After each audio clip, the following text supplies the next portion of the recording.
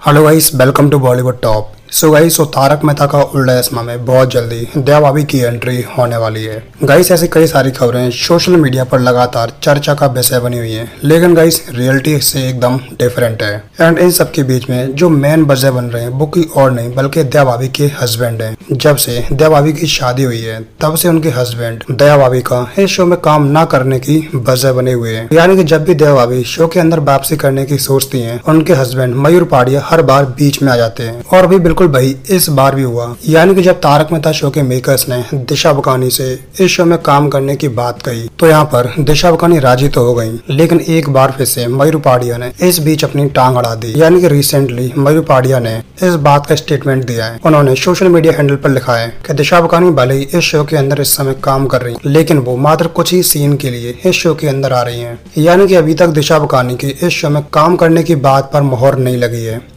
यानी कि वो इस शो में काम करेंगे या फिर नहीं करेंगे, ये सब कुछ तारक मेहता शो के मेकर्स के ऊपर निर्भर करता है। यानी कि अगर वो हमारी कंडीशन को मानते हैं तो ठीक है। अदरवाइज़ दिशा बुकानी वापस से इस शो के अंदर कभी भी वापसी नहीं करेंगी। तो वैसे सिंपल शब्दों में कहें तो यहाँ पर तारक मेहता शो के मेकर्स और दिशा बुकानी के बीच में इस शो में काम करने का कॉन्ट्रैक्ट अभी तक शाइन नहीं हुआ है। और रिसेंटली जो तारक मेहता शो की आने वाली स्टोरी है नवरात्रि में, उसमें भी दया भाभी वापसी नहीं कर रही हैं। उसमें दया भाभी सिर्फ़ और सिर्फ़ कुछ सीन शूट करने के लिए आई थी और वो सीन भी मात्र वीडियो कॉलिंग पर दिखाए जाएँगे। यानी कि सुंदर लाल दया भाभी से वीडियो कॉलिंग पर बात करेगा। लेकिन फ़िलहाल तारक मेहता शो के मेकर्स और दया भाभी के हस्बैंड के बीच में इस बात को लेकर डिस्कशन चल रही है। लेकिन हर बार मयूर पाड़िया कहीं ना कहीं आकर दया भाभी के इस शो में ना आने की वजह बन रहे हैं। फ़िलहाल गई सब बताइए क्या इस समय दया भाभी के हस्बैंड बिल्कुल सही कर रहे हैं या फिर गलत? गाइस, इस बारे में आपको जो भी कमेंट्स और रिव्यूज़ है, नीचे कमेंट बॉक्स में लिख के ज़रूर बताएँ। बॉलीवुड टॉप को सब्सक्राइब करने के बाद बेल आइकन ज़रूर प्रेस करें, ताकि नई वीडियो अपडेट आपको मिलती रहे।